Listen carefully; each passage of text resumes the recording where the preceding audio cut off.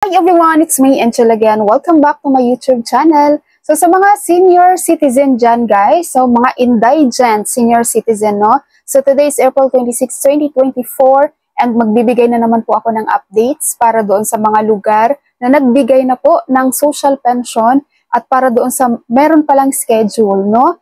Um, ang social pension na to guys, ito yung dating 500 pesos na ginawa ng 1,000.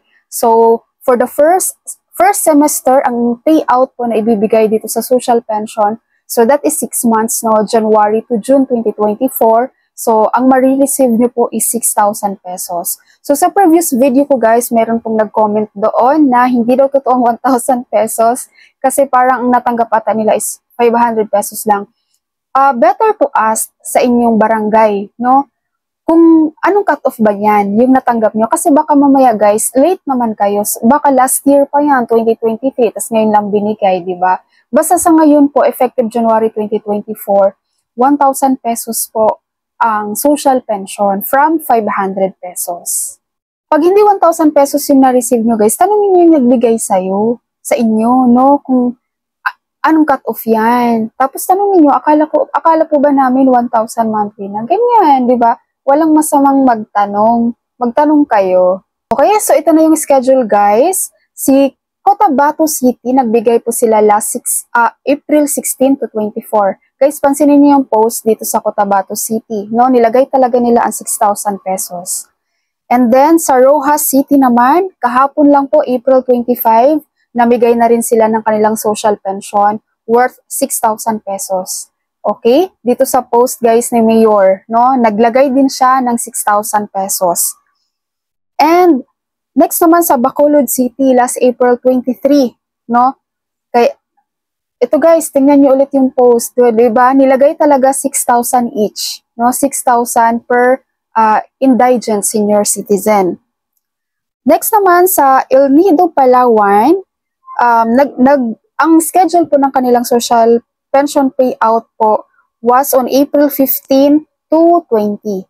'Di ba? May 6,000 din na nakalagay. Next naman sa Tanawan, Batangas, guys, kitang-kita nyo naman, ang laki ng 6,000, 'di ba?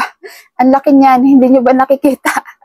ang laki ng 6,000 pesos na poster, no? So, Tanawan, Batangas, uh, namigay po sila last April 23 sa kanilang social pension for their um, indigent senior citizen. So, namigay na rin po last April 18 ang Zamboanga City. So, as you can see, meron din 6,000 na nilagay dyan. And then, Barangay Hanosa, Binangonan, Rizal, last April 18, no? So, tingnan nyo rin yung post, guys. May 6,000 pesos. And then, sa Duero, Bohol, last April 18, no? Duero, Bohol, last April 18. And Tangalan, Aklan, last April 22. So, meron din pong 6,000 na nilagay uh, Pinu Pinamalayan Oriental Mindoro. Nasa day 7 sila ngayon guys. No? April 30 ang kanilang day 7 sa social pension payout. And Barangay Ukab, Itogon, Benguet, last April 25. Uh, Pulumulok, Cotabato, May 9, May 10, and May 13. Uh, Barangay Patag Silay, Negros Occidental on May 3, no? sa May pa po. Then Tabango, Leyte on May 6 to 10. And then Barangay Castaños, Bailin, Cavite, uh, April 22 to 26. So ongoing siya today, no hanggang ngayon to, April 26. Barangay Veneracion Camarines Sur on April 29. Barangay Zone 3, Cor Coronadal, South Cotabato on May 3, so May 3 din. Uh, Suralia, Timog, Cotabato on May 16, 17, and 20. So sa area nila puro May.